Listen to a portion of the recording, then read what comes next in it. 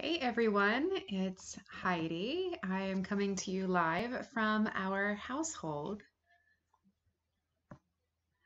And I wanted to share a devotional with you today since we couldn't be together. I know some of you attend Bible study in different groups throughout the week. So I'm inviting you to join me as we walk through the book of Ruth over the next couple of weeks. I'm going to do a special Bible study with you, and it's focused around the topic of quit quitting everything. If you're anything like me, uh, there's so many things I want to try in life, and I don't always make it to the end. I end up quitting somewhere in the middle of it.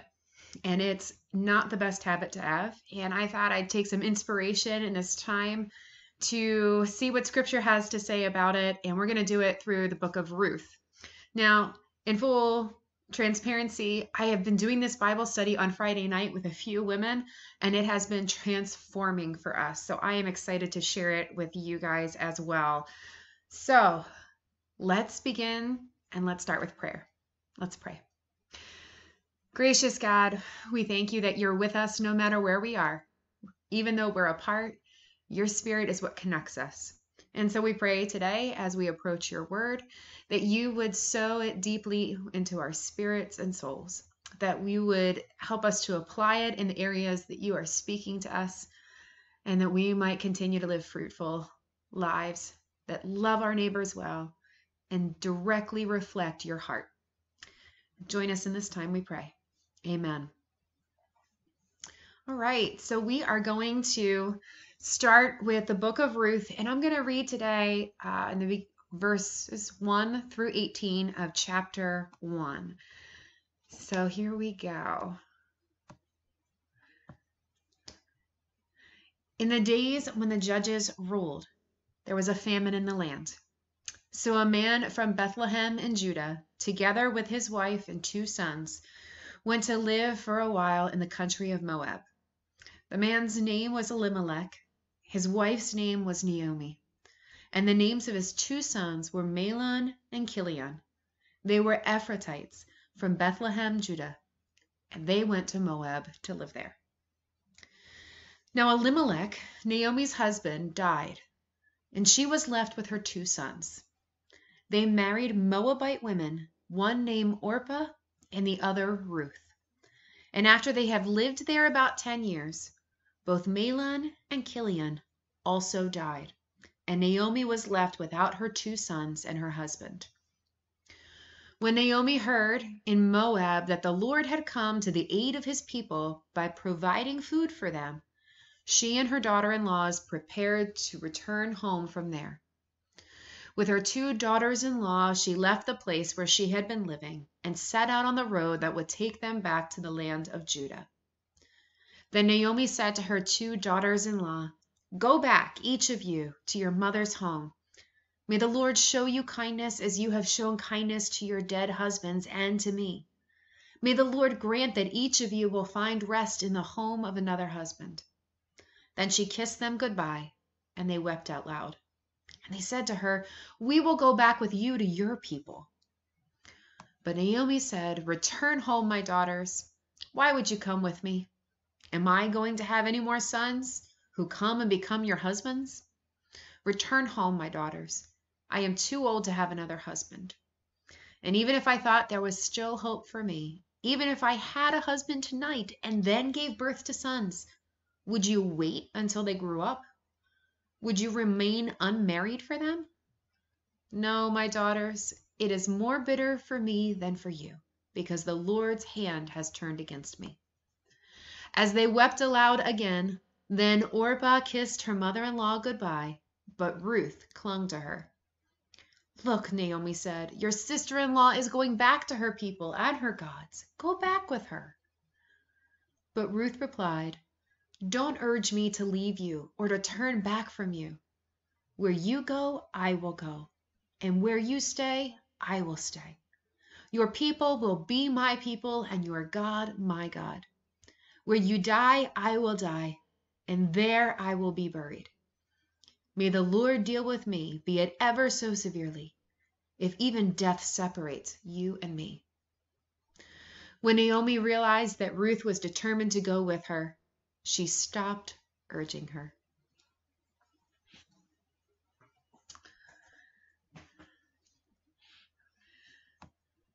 So, my first question to you is Are you a person that tends to quit things when they get a little hard?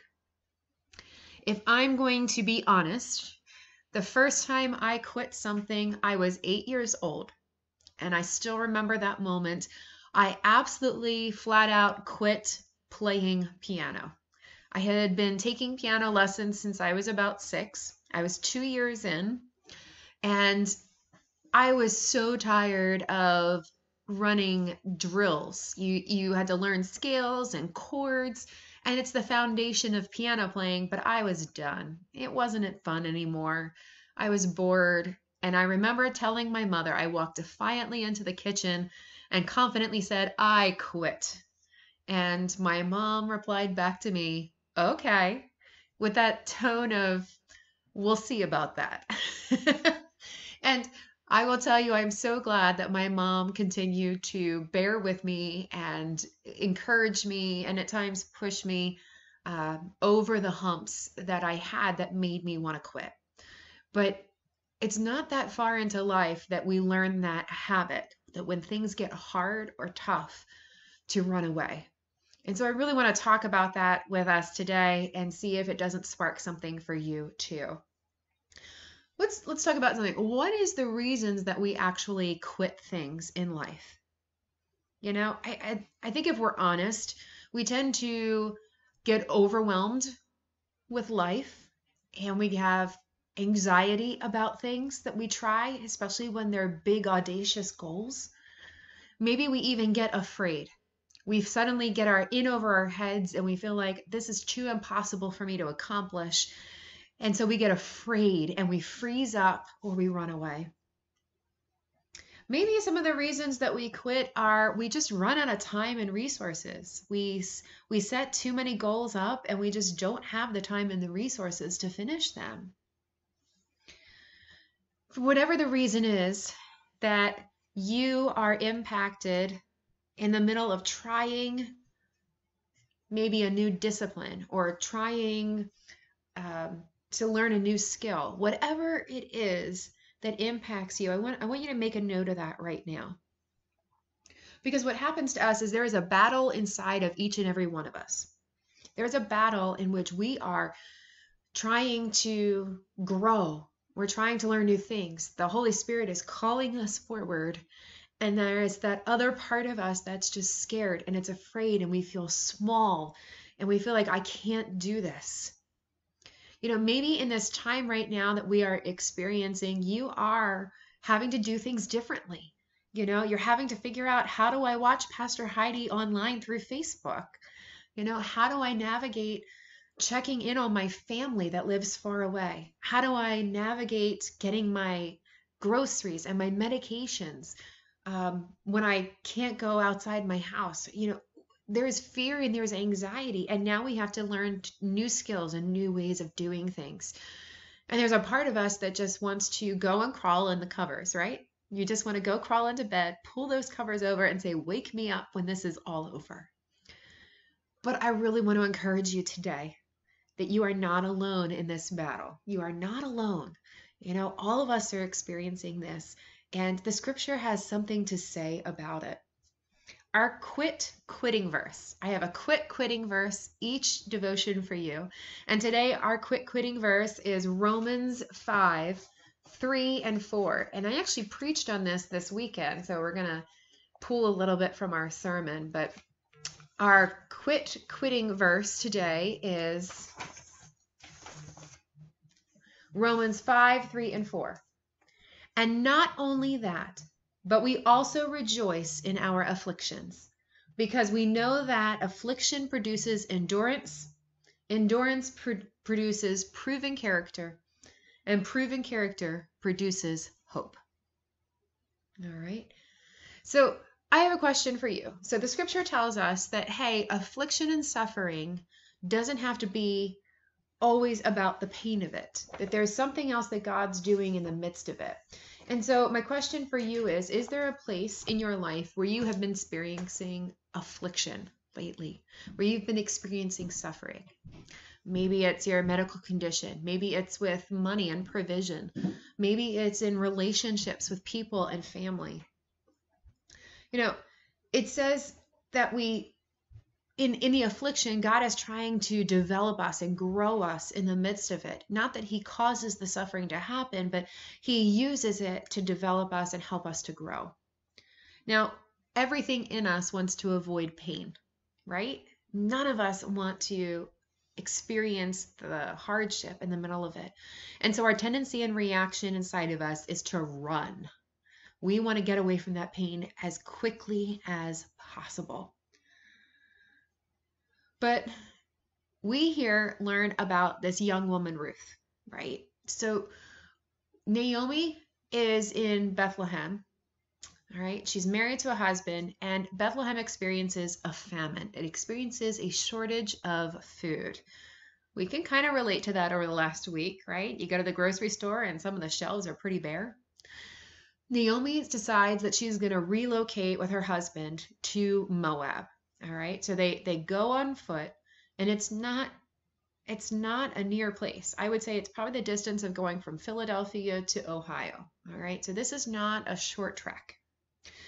They travel to Moab and while they're there they have sons and those sons take on wives, right? They marry Moabite women. One is named Orpah, one's named Ruth. And everything's going great until Naomi's husband, Elimelech, dies. Okay, so the patriarch of the family dies. So they keep going, but the two sons then also die. So here's these three women left in the depths of their grief. You know, Naomi, Noe, sorry, Naomi has no husband, and Ruth and Orpah are left without husbands too. And Naomi, in her grief, makes a decision that she is going to return to Bethlehem. And she tells the two daughter in laws, Go home, go back to your own people. Even if I got married again today, even if I had sons today, you know, you will be old women before they would grow up.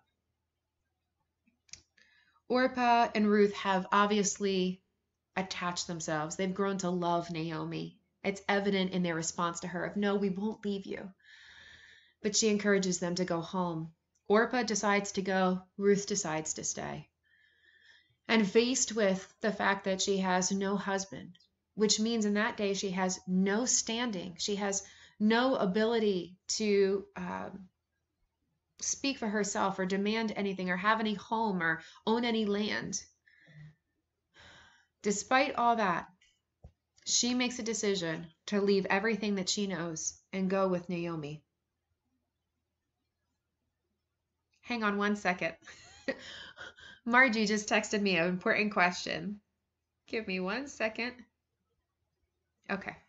So Ruth makes this incredible decision to leave everything she knows and go with Naomi. Right?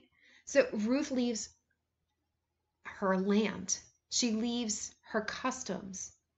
She becomes a foreigner. Think about that. She leaves her family she leaves her God, she leaves all of her customs, and she chooses to set out on an unknown future on the track home. I want you to think about that. I want you to think about if you were to leave your house, leave your plot of land, leave the people you knew, the friends you know, the family you had, travel to a completely different country where you don't have any place to stay. You don't know anybody there. Would you do that? Would you do that? But Ruth makes that decision to go. It's a big, big, big decision in her life. And she just decides, I'm going to follow Naomi. So the two women return home to Bethlehem and as they do this, we are going to watch them handle it differently.